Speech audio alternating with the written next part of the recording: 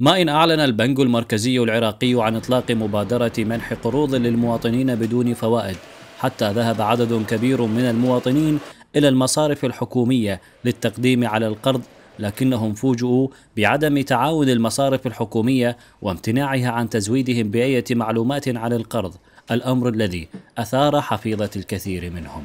البنك المركزي يطلق تسليف قروض للمواطنين يروح المواطن يراجع المصرف الحكومي مدى يحصل أجوبة. بالتالي يضطر يروح للمصرف الأهلي، زين شنو الفرق إنه يروح للمصرف الأهلي والمصرف الحكومي اللي هو صاحب المبادرة مثل ما أطلق البنك المركزي ما راح يحصل شيء المواطن من المصرف الحكومي، العدوى شنو وجود هالمصارف الحكومية؟ يعني حقيقة اليوم نفرح لما نشوف إنه مبادرات الحكومية بإطلاق بعض السلف وتوصل 15 مليون بدون فوائد.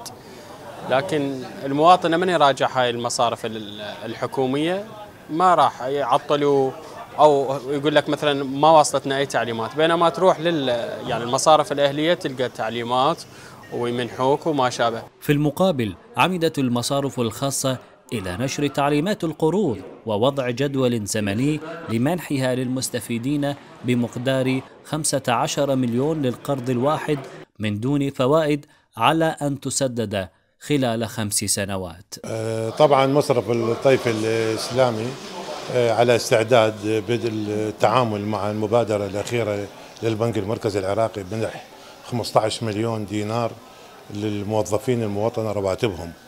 وهذه هي مبادرة طبعا جيدة جدا. آلية التقديم هي مثل أي قرض عادي آه، للمواطن رواتبهم لدى مصرف التنمية الدولي أنه يجيب مستمسكاته كتاب تأييد من دائرته وإن شاء الله يبدأ التقديم من تاريخ 1 3 والآلية سهلة وسلسة إن شاء الله راح تصير على الموظفين بحيث ما تاخذ من عندهم جهد ولا روتين ولا أي آه، تعب إضافي.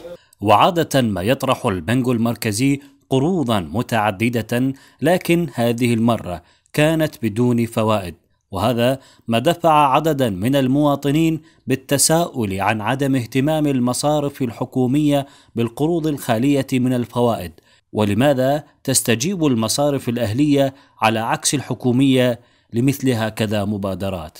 لبرنامج دينار على الجميلي العراقية الإخبارية بغداد.